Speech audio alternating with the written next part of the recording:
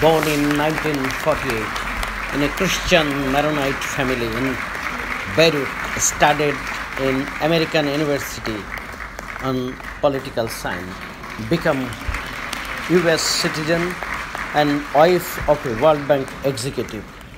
Now, First Lady of Afghanistan, wife of Ashraf Ghani, speaking on the occasion of Convocation 2017 of Asian University for Women, she also conferred honorary PhD by the same university.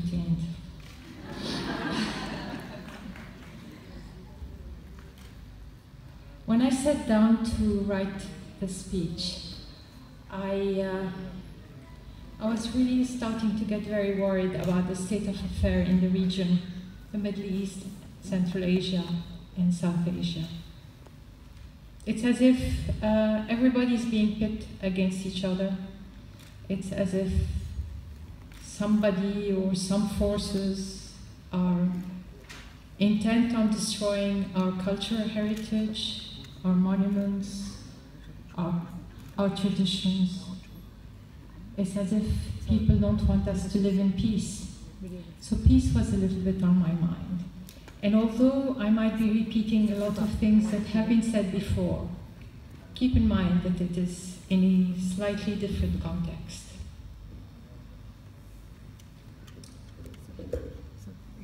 In the name of God, the merciful, the compassionate.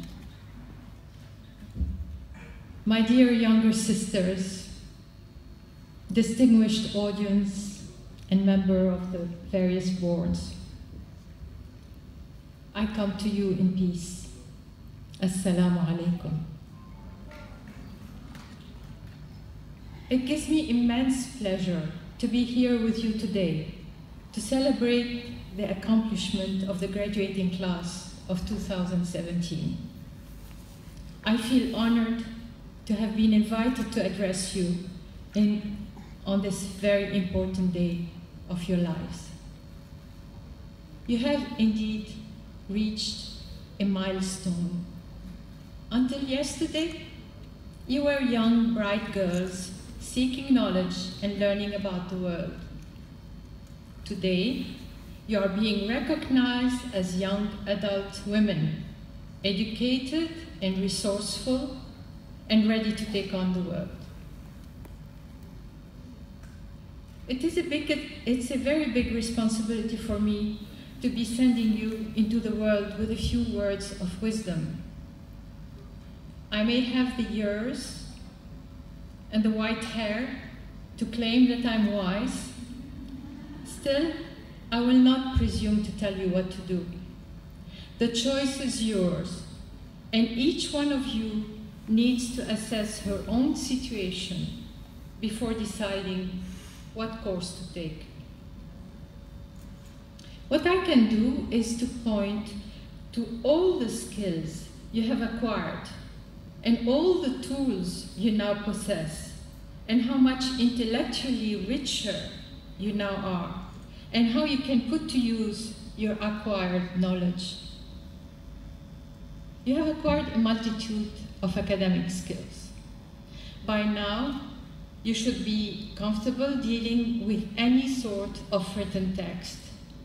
You can parse it, you can analyze it, you can criticize it, you can decide what part of the text you'll make your own and what part you will dismiss. Based on this experience, you can now use your pen to write analytically, persuasively, or even mockingly. In other words, you have learned to discern other people's thoughts, and at the same time, you have mastered the art of expressing your own thoughts convincingly. You have also learned how to research a topic.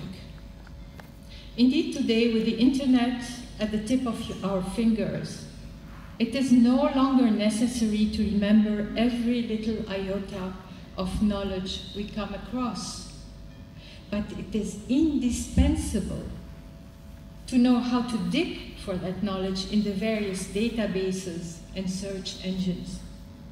Because learning is a lifelong process and should never stop. I never did, and that makes life much more interesting. You have also been given a solid understanding of the subject you have been studying, whatever they may be. Think of it as a wealth of vicarious experiences you can learn from. For instance, in politics, you are introduced to various political systems and how they evolved. Should you decide to enter politics, you can draw lessons from the experience of those who preceded you. Similarly, if you studied economics, for example, you are taught about the various economic models and their respective manifestations. Should you engage in economic activities, all those lessons learned will help you shape your own professional decisions. But in addition to those academic skills, you have also benefited from life-changing experiences. And this is something that I'm repeating after so many other, but it's extremely important. From the confined and secure environment of your childhood, you have moved into a wider arena. Far from your family, you have learned to fend for yourself and assume your responsibilities. You have matured, and now you appreciate even more the family support you enjoyed as a child. I hope that you are deriving from this experience a better understanding of the positive role a family can and should play. This is extremely important because families, sound families, are the pillars on which a sane society can be built and flourished. I think a lot of problems in society today derive from the fact that we have too many broken families. For four or five years, you have shared a roof with girls from all over Asia. You have had a chance to interact with them and to experience how different and yet how similar they are to you. You have discovered new cultures and new traditions, and I certainly hope you have learned to accept and respect each other's particularities. You now understand that the world is made of many different parts that can enrich each other through harmonious coexistence. As you contemplate life ahead of you, do not be scared by the multitude of problems that are facing the world in which we are living. On the contrary, approach the world with calm and confidence because you have been given the tools to face those problems and figure out how to solve them. Here I'm reminded of a uh, sentence I read once in a, in a magazine in a doctor's waiting room. And it said, if you keep looking at the obstacles, you will never see the road. And that's really so important. There are obstacles anyway. Just keep seeing the end of the road, the goal that you have set for yourself, and carry on. You have been groomed to become the future leaders of your generation. Leaders who will relentlessly attempt to make the world a better place so when life turns hard and problems accumulate, remain positive and let every challenge turn into an opportunity for improvement and transformation.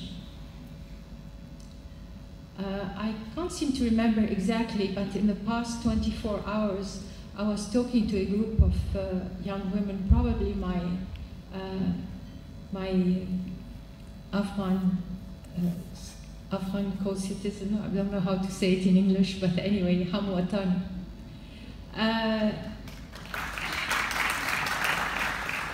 Yes, when I first came to uh, the palace, to Arg, uh, we have a little residence, and I stayed at home for a couple of weeks, but I can't stay without doing anything. I mean, I after two weeks, watching TV and re reading books was becoming boring.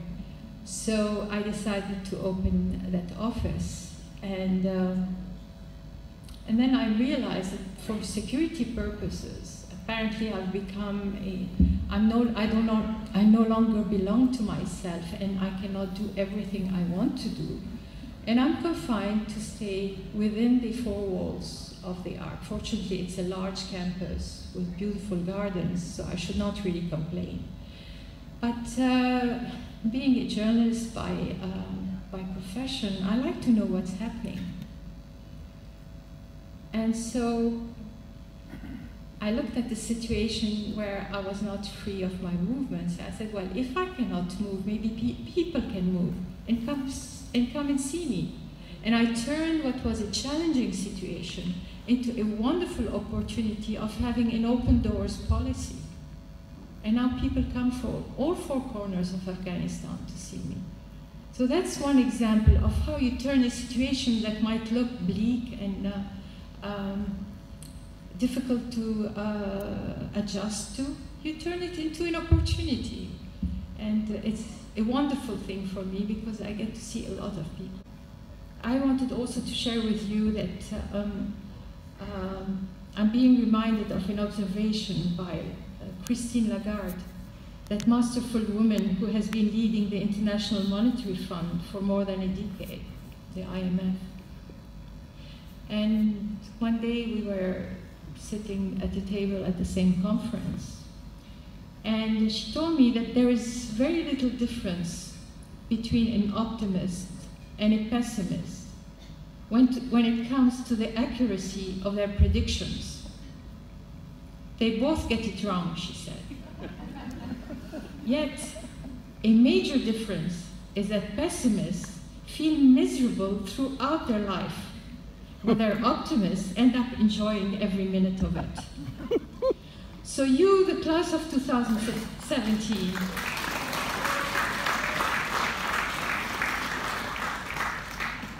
you, the class of 2017, have a reason to be optimist.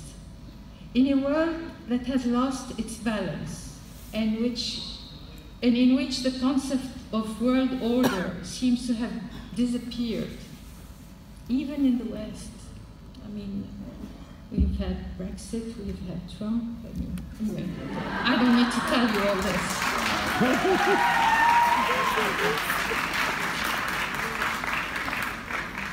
So, in a world that has lost its balance and in which the concept of world order seems to have disappeared, in a world where no corner has been spared from violence and upheavals, you have been privileged to experience firsthand the benefits of a multicultural, multi-ethnic, multinational environment.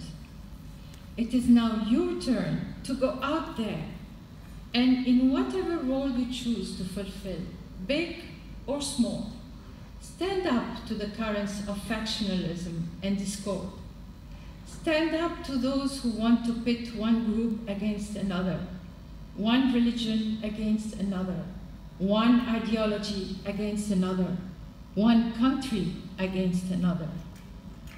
Draw from your personal experience of the past five years here at the Asian University for Women, during which you have ascertained that despite our diversity, we are all alike. We are all human beings worthy of respect and dignity. Stand up for a unified world. Stand up for an inclusive world. Stand up for an integrated world where diversity is a source of enrichment stand up for peace.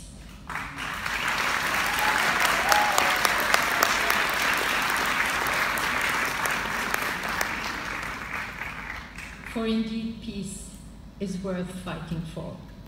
Congratulations.